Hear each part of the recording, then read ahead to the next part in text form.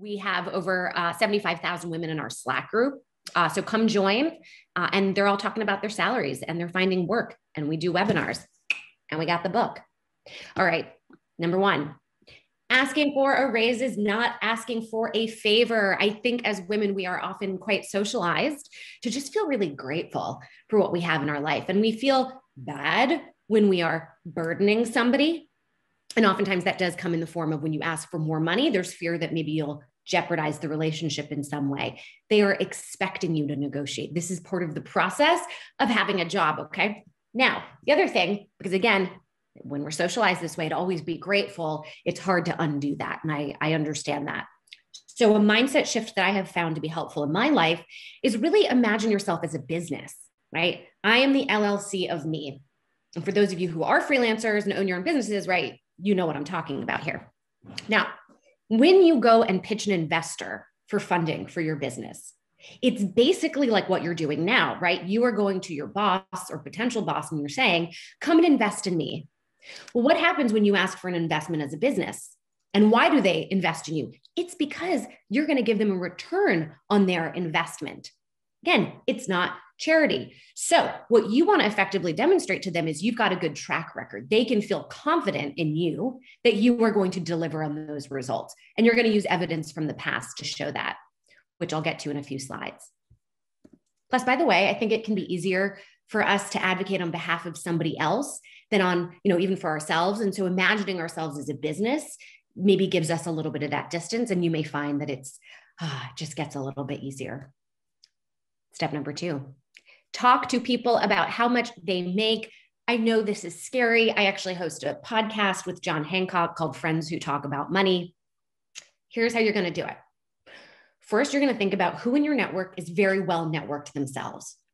They are somebody who is can be totally valuable to you. Because if you go to them and you say, I'd love to connect with somebody who does something similar to me, who maybe works at a similar company, would they be willing to share their salary?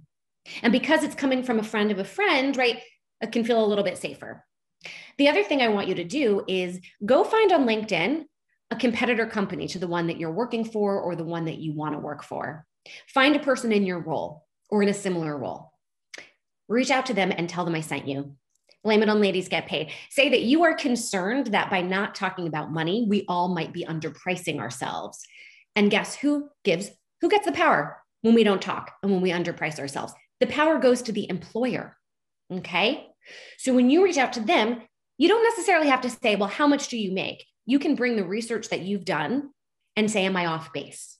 And by the way, in that research, it's a pay, it's a range. And I'm going to talk in a minute about how you kind of narrow the range down to have a specific ask. But the point being is it's not whether or not you talk about money with them, you have to talk about money. It's just really how you do it. This is the research I did. Am I off base? Or would you be open to sharing the range of what you make? And by the way, when it's time for you to negotiate, please reach out to me, however, I can support you. Um, and do that for other women. Oh, though here's the thing if you only ask other women, uh, we might all be underpaid. So make sure that you're including white men in that research. Having evidence, having hard data, those numbers, it's going to make you feel just so much more confident when you go in and negotiate. It's just math. Now, have a comeback ask because in a negotiation, if they just say yes really quickly, that's probably an indicator that you didn't ask for enough, by the way. So do start with a number that makes you a little uncomfortable. Uh, otherwise, it's not high enough. And I'll go over that in just a bit. But in a negotiation, I think you can expect that it's going to go back and forth, at least a few rounds. So, assuming that you might not get that initial number that you want, right? That I call it the FU money, the rockstar money, have a comeback ask because if they say we can't do that, it's okay. How about this number? And that number is going to be in the middle of that range. And it's called a pay band, by the way. And you're going to have a bottom line, but we're not going to think about the bottom line for right now. So come back, ask. That is a number that you have to be really proud of if you get it, because again, most likely it will be what you get. Which, by the way, there's research uh, two pieces of kind of conflicting research, and you all might have heard of this. The old research has said that women don't negotiate or they don't negotiate as much as men. Newer research says that women do negotiate as much as men. We're just not getting it. I think it's mostly, I actually think it's the latter. And by the way, you know, I have over 75,000 women in the Ladies Get Paid community, and more than 2 million messages have been exchanged in our Slack group since 2016. So I've really seen a lot of conversation. It seems like most of these women are negotiating. Here's what I think is happening I think they're just getting told no, and they're saying, okay, sorry, never mind. Whereas the man, whereas the men, maybe they're told no, and they go, okay, how about this number? They keep the conversation going. That's my personal hunch. So just remember the comeback ask is just as important as the initial ask. Money isn't everything, uh, which I know as ladies get paid, probably shouldn't say that. Uh, but it's true. It's true. You can get so much more than money. Uh, and this is particularly important to keep in mind if you are getting that no, there are other things that the company can give you that it brings you value, right? But maybe doesn't cost them much money or any money career development, flexibility, uh, gas money, right? Once we start commuting again, Metro card, cell phone bill, internet at home, right? You're doing work for them. They should pay for it. Uh, signing bonus, more commission, more equity. Like, how many more can I list? I mean, it really it shows you that there's just infinite ways that they can bring more value to you. I have a little bit of controversial advice, and it's only controversial because other coaches will tell you differently. So, you know, take everything I say with a grain of salt. I would start with the salary, finish that conversation, right? Come to an agreement on the number. And then you say, I want to talk about my full compensation or I want to talk about my full comp package. The reason I wouldn't bring up full comp first or as part of that initial conversation is because if they know that you want something else, right? Like going to a conference, they could maybe use that as leverage to get the salary down. What I'm not talking about is stuff that is a deal breaker for you. If you must have workplace flexibility, you must bring that up earlier in the whole process, maybe even in the interview process. Otherwise, you're wasting your own time. Okay. Now, you might be thinking, well, Claire, if they can't give me more of a salary, then how would they be able to give me a signing bonus? Or how would they be able to pay for me to go to a conference? Different budgets right? Different budgets. Even think about this last year. Companies, a lot of companies not doing well, which by the way, a lot of companies are doing well. Some companies not doing well. They used to have travel budgets, right? Sending people all over the world, right? Thinking about companies you've worked for. They always have travel budgets. They didn't use those travel budgets this year. They can pull from other budgets, other departments, and give it to you. You won't know until you ask. And I'm going to get to how to ask in just a minute. Now, here is something super, super, super important. You are not going to get this money because you've asked for it. You're not going to get this money because you deserve it. You're going to get this money because you've effectively demonstrated to them that you are a top performer that should get top dollar. It's not about hard work. It's not about assuming that your work speaks for itself. You need to speak for your work. And the most important part about that is really knowing what your impact has been, particularly on the bottom line. Uh, this is easier for some roles. Okay. So if you're in sales, I get it. I brought in X dollars. Okay. For those of us who maybe don't have that kind of easy evidence, first of all, you do need to know exactly how you are bringing money into the company, even if it's indirect. And go to your manager, go to other people, say, I want to start thinking like an entrepreneur here um, and really understand my place in the ecosystem of how this company operates. Okay. So that's a conversation you can have later. I would maybe look at um, save time saved resources, uh, your contribution to the company culture. For any of you guys who are recruiters or who work internally in HR, I mean, you understand that it is expensive to lose talent. So, you being able to demonstrate how you've helped the team dynamic, right? How you've helped the team improve their work, that's big. That's really big. So, make sure you also talk about your strengths, right? Not just what you've done, but who you are as a person uh, even your process, right? You got 500 people to come to an event, but what's more interesting is you telling me, how did you actually do that? Because that's going to show your strengths, your creativity, your resourcefulness, right? Your grit. Even pretend like you're in a movie and you're telling this story of a main character. Again, getting some distance from ourselves, I think it just becomes easier. Now you're looking at this slide and you're like, accept your fear. What is what does this mean? Uh, first of all, I want you to practice practice, practice, practice. And uh, then I want you to also tell to yourself, practice makes perfect. No, no, no, no. You know why? Because that puts a lot of pressure on yourself. No more perfection. This is all about yourself. Like, what are you going to learn, by the way?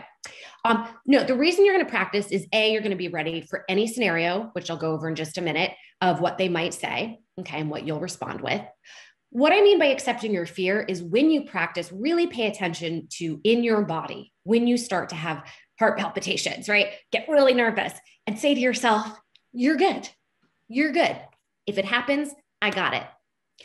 Because if it does happen, you've seen it before. And I think removing that element of surprise is not going to knock you off. Except it's also kind of like Buddhist about this, right? Don't fight the fear. It's going to make you even more agitated. Go first. Also controversial. You may have been told never, ever, ever be the one who says what you want first. I completely disagree because you know your market research. You've also hopefully understood what the range is already for the role. Otherwise you know why would you be applying there? It could be again wasting your time. Uh, same thing as a freelancer right? You should feel really confident in your market research but you don't have to say this is the number that i want.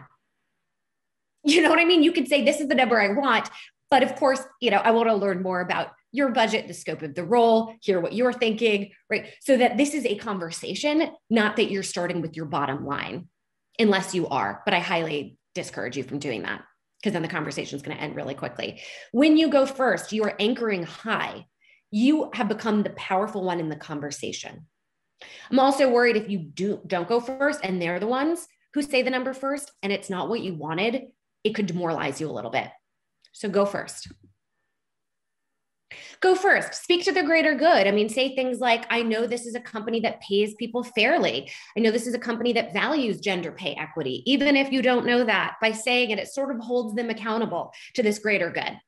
Say things like i'm sure we can figure this out together right? This is a collective thing. Remember they already want you. Like if you are this far in the interview process where they're even giving you an offer, if you've worked there long enough to where you can even negotiate your raise, they want you to be there. It is in their best interest. They don't want you to walk away. This is asserting yourself too. Like you've done two things. You said, This is the value that I know that I bring. I've done my research, but also curious to hear your thoughts. I'm sure we can figure out together. It does that balance, which I think, unfortunately, women, and I know you all know this, we have to constantly walk that tightrope of like being assertive, but not appearing aggressive. And that's how we're socialized and sexism exists. And I'm not going to solve that in nine slides, obviously. Uh, nine, last one here. When you do well, we all do well. Remember the wage gap. Remember the leadership gap. There's a reason you all showed up today. It's systemic, it's overwhelming. It can feel really depressing. Like, you know, as an individual, what could I possibly do to combat the wage gap? This, this is how you do it because you're going to close your own wage gap and you're going to tell another woman how to do it. And she's going to tell another woman. No, this does not change the system. It just helps you, which is a first step. To change the system means we need to change laws. And so if you're curious about, you know, where you can be focusing your efforts in that space, universal childcare and paid family leave are two places to really put effort in because those are, I would say, if I had to pick any laws, if we enact better paid family leave and universal childcare, you're going to see a lot more women staying in the workforce, not being marginalized. Okay. Uh, and I could go on and on about the wage gap, but do keep that in mind. You doing well for yourself, it does help move the needle at least. Oh, oops, there was a bonus one. Sorry. Uh, join Ladies Get Paid, ladiesgetpaid.com. Uh, we do webinars and events every single week. We have a video library. We actually have an equal pay day summit that's going on right now. Uh, if you want to check out our YouTube channel on Ladies Get Paid uh, or go to ladiesgetpaid.com slash equal pay. I also wrote this snazzy book. Would love y'all to check that out. Ladiesgetpaid.com slash book. 320 pages, way more uh, than the, the 10 minutes that I gave you today. And I'm just so appreciative of the time that you gave me. Speaking of which, I think I did a pretty good job on time. It was a little scary, uh, getting some nods. Um, also, if you have any questions uh, or want to keep me posted on, on how everything's going with you, I'd love to hear from you. Instagram's the best place. Claire gets paid can also learn more about me at clairewasserman.com. Now go get paid, guys. I'm so honored to be the last one here. Uh, so, you know, save the, what is it, last for best? No, I don't want to be competitive with anybody else, but uh, appreciate you all taking the time. I hope you found this helpful and happy equal pay day. Thanks so much, Claire. Thank you so much to Claire for being here with her final words of inspiration to our amazing mentors. Um, and to all of you who joined, and I hope that you got some great advice. Um, and stay in touch. We do a lot of these type of events as well.